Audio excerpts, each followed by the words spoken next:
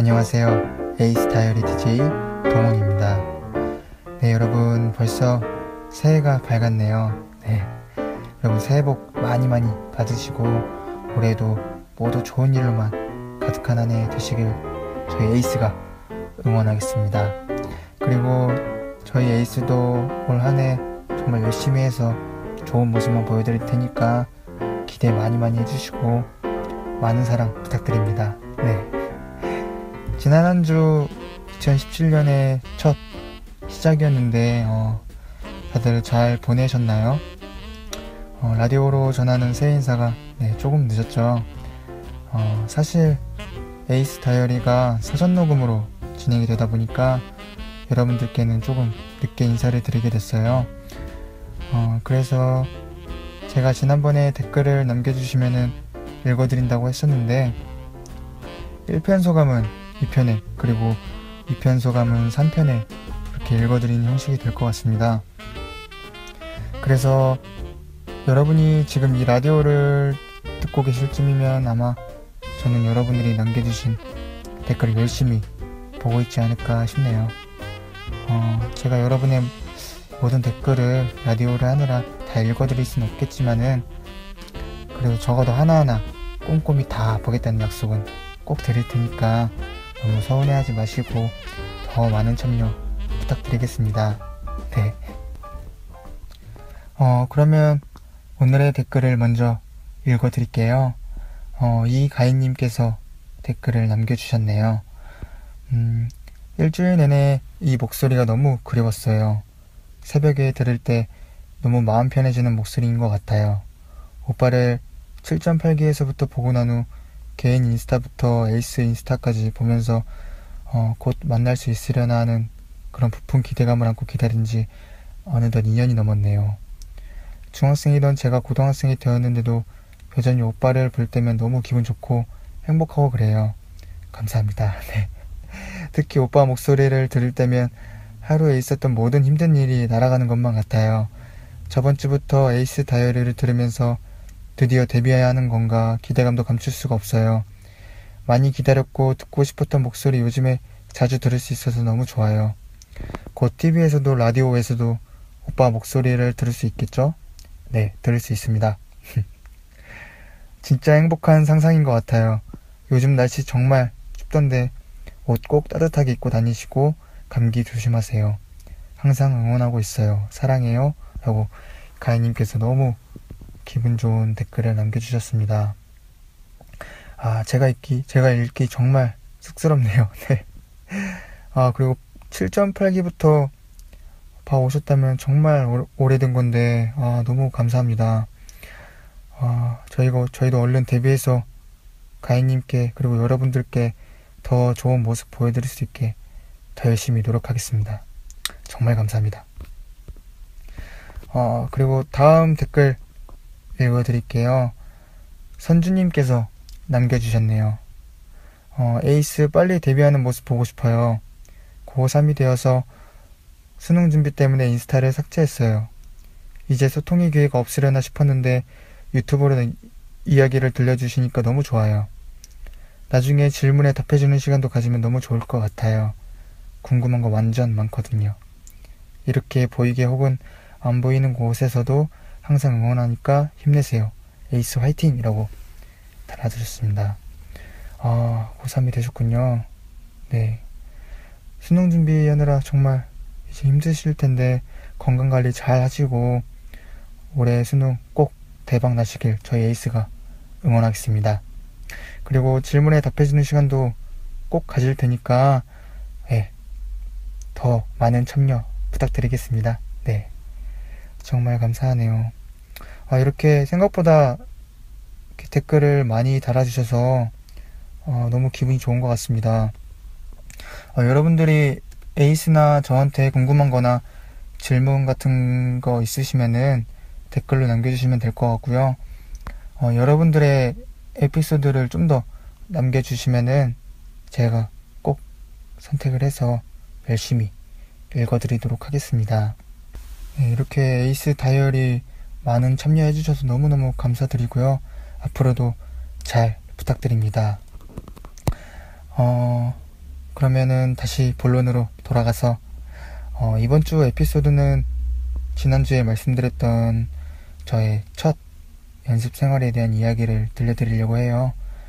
음, 어, 제가 처음 들어간 회사에서는 그런 생활이 처음이었고 경험이 없다 보니까 그냥 정말 열심히만 하면은 데뷔할 수 있겠지라는 그런 생각을 했었던 것 같아요.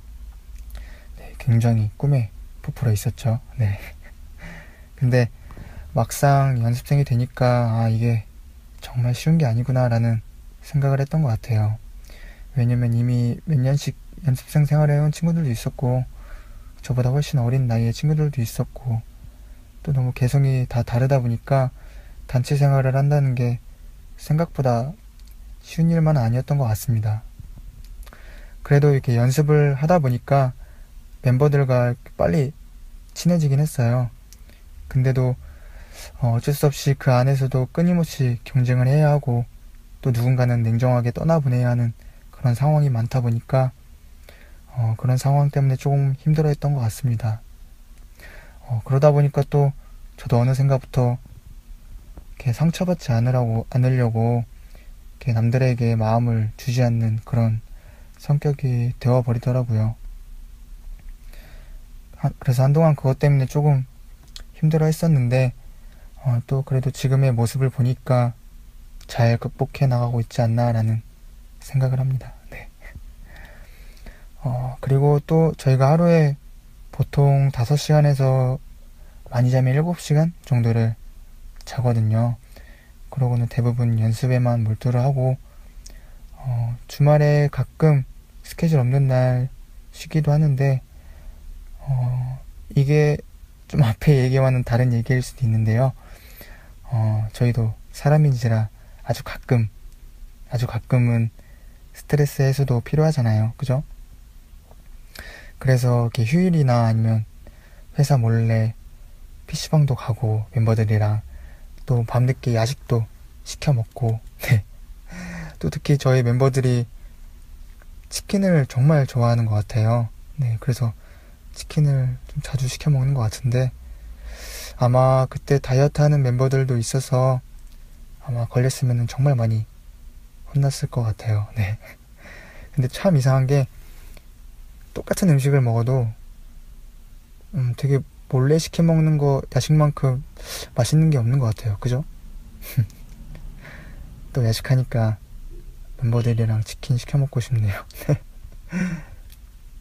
어, 그리고 또 사실 이게 저의 또래 친구들한테는 굉장히 평범한 일상일 수도 있잖아요.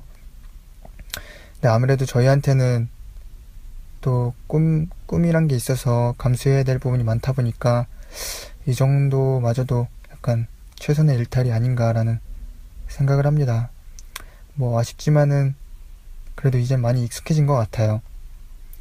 그리고 또 지금의 회사에서도 약속한 자기 관리만 잘하면은 음, 자율적인 분위기라서 어, 옛날보다 그렇게 힘든 점은 없는 것 같습니다. 다들 익숙해져서 그런 것 같아요. 그리고 또 회사가 믿어주는 만큼 멤버들도 각자 자기 알아서 잘하니까 그게 정말 보기 좋은 것 같아요. 저희 잘하고 있죠? 네. 어, 그리고 이런 연습 생활을 하다 보면은 어, 가끔 다른 가수들 모니터링을 많이 하거든요. 근데 그러다 보면은 예전 연습했던 동료들이나 아니면 오디션 출신 동료들이 이렇게 데뷔를 해서 방송에 나오는 걸 볼 때가 많아요. 어, 그러다 보면은 저도 어쩔 수 없이 아, 나는 언제쯤 데뷔를 할 수 있을까라는 조바심이 조금 생기더라고요. 연습할 때마다 그래도 마음 다잡으면서 아, 꼭 데뷔해야지 라면서 하긴 하는데 생각보다 그게 쉽지만은 않았던 것 같아요. 저는 저번 시간에 말씀드렸다시피 춤이라는 약점이 있어서 아무리 연습을 해도 초반에는 다른 멤버들을 따라갈 수가 없더라고요. 그래서 회사에서도 안 되겠다 싶었는지 저한테 한동안은 보컬룸을 아예 못 쓰기도 했었, 했었 던 그런 때가 있었어요. 어, 그때 되게 안무에만 집중 트레이닝을 받게 해주셨는데, 어, 그때 아무래도 저는 노래를 먼저 했던 사람이다 보니까 힘들어도 그런 노래로 인해서 위로를 받고 위안을 받곤 했었는데 못하는 춤만 계속 추고 또 초반에는 그게 눈에 보이지 않다 보니까 또 많이 혼나고 또 많이 뒤처지다 보니까 좀 많이 우울했던 것 같아요. 근데 그때마다 생각을 한 게, 아, 진짜 내가 음악을 계속 하고 싶고 평생을 해야 되고 여기까지 왔는데 이거 하나 해내지 못하면은 진짜 아무것도 못할 것 같은 그런 생각이 들더라고요. 자존심도 많이 상할 것 같고 제 자신한테 너무 창피할 것 같아서 그때마다 더 이를 악물고 했던 그런 기억이 있습니다. 근데 정말 신기하게 그렇게 한 1년 정도를 진짜 이를 악물고 하다 보니까 네, 춤으로 칭찬을 받는 날이 오더라고요. 네. 그때 안무 선생님께서 마론5의 슈가라는 곡으로 안무를 짜주셨었는데 어, 그때 선생님께서 저한테 처음으로 칭찬을 해주셨던 그런 기억이 있어요. 그때의 기분은 정말 말로 표현할 수가 없었는데 그때 막 힘들었던 기억이 막 주마등처럼 스쳐가면서 막제 자신한테 너무 뿌듯한 순간이었던 것 같습니다.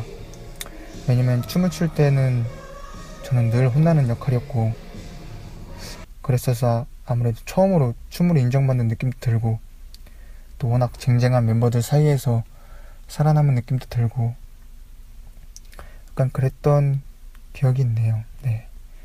뭐 이게 다 선생님께서 저를 잘 가르쳐 주셨기 때문에 그런 거라고 생각합니다. 네. 이 라디오를 듣고 계실지 모르겠지만은 저는 늘 여옥쌤에게 감사드리고요. 이렇게 제가 사람답게 춤을 출 수 있는 건 다 여옥쌤 덕분입니다. 네. 정말 정말 감사합니다.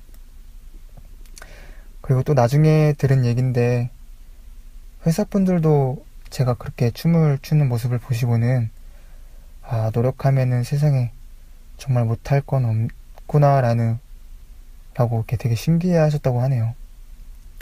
뭐 그때 제 발과 운동화도 나만 하진 않았으니까요. 그리고 또 그 덕분에 지금의 저도 있는 거겠죠. 네. 아, 생각해보니까 정말 이런저런 일이 많았네요. 또 전 회사에서는 준이나 와우가 저를 좀 어떻게 해보겠다고 새벽까지 남아서 되게 많이 도와줬거든요. 그래서 제가 그런 멤버들한테 많이 의지하면서 버텼었는데 또 그럼에도 잘 안 되고 그래서 회사를 나오게 되면서 방황을 좀 많이 했거든요. 근데 그때도 정말 고마운 게 멤버들이 있었어서 그리고 또 지금의 지, 제이슨이랑 찬이도 만나게 돼서 정말 제가 버틸 수 있지 않았나라는 생각이 듭니다. 그리고 지금까지도 에이스가 에이스라는 멤버들이 있기 때문에 제가 지금까지 잘 버티고 있지 않나 그런 생각을 하고 있습니다. 네. 어, 그런 의미에서 다음 주 에피소드는 저와 함께 해준 그런 에이스 멤버들 이야기로 꾸며볼까 하거든요. 어떤 친구부터 하는 게 좋을까요? 네, 궁금하시죠? 네.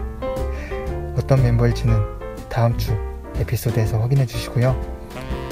어, 사실 제가 엄청난 이야기를 해드리는 건 아닐 수 있는데 그래도 이런 시간을 통해서 여러분들에게 에이스와 저를 알릴 수 있는 시간이 생긴 것 같아서 전 너무너무 기분이 좋은 것 같습니다.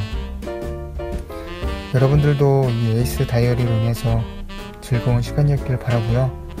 다음 주에는 저희 에이스 멤버들 에피소드로 더 재밌고 알차게 찾아뵙도록 하겠습니다. 네, 여러분 남은 한 주도 잘 보내시고 이렇게 매주 저 에이스 다이어리 이렇게 들어주셔서 너무너무 감사드립니다. 네. 그럼 저는 다음 주에 다시 찾아뵙겠습니다. 네. 지금까지 에이스 다이어리의 DJ 동훈이었습니다.